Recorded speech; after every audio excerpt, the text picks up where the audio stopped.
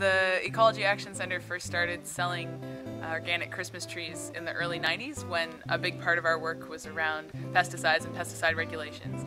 Uh, we wanted to give people an alternative to conventionally grown Christmas trees. Uh, now, more than 20 years later, the industry has changed quite a bit, but we continue to do our Christmas tree campaign. Um, it's an important way that we connect with a lot of members of our community. It's a fundraiser for the Ecology Action Center, but it's also an important conversation to have about how our choices um, have an impact on the environment. My family has been here for about 160 years now. I'm the seventh generation to be working on this piece of ground.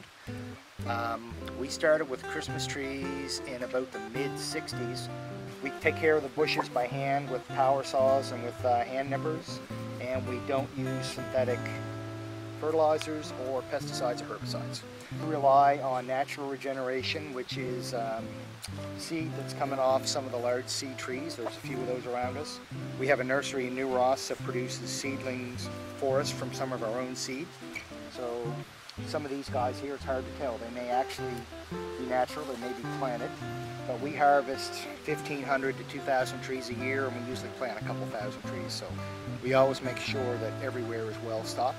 It just makes it more efficient and we have, we're able to produce the same amount of trees on less acreage. Come on in, you can't hurt me. 12, 13, 14 years I looked after that before it was ready for market. And then there's a little guy that was planted this spring. So you can have a fair bit of productivity out of these places and you don't have to be too destructive to do it. One of the ways we use integrated pest management is the fact that if I see that I've got a problem starting to come with aphids, which would be the classic example, um, is I will introduce some ladybug, and they work along for free all summer. so it's really nice. They're working while I'm at home doing something else. To my mind, balsam fir are a tree, and they evolved without fertilizer, and I think they do just fine without it. I mean, these are natural. They'll come in here and grow on their own. The seed will blow in from a big tree, and they'll just take off in itself. And that's what started the Christmas tree industry in Nova Scotia. And we, we are the Christmas tree capital of the world. so if your family celebrates the season with a Christmas tree, we hope that you'll consider buying one from the Ecology Action Center this year.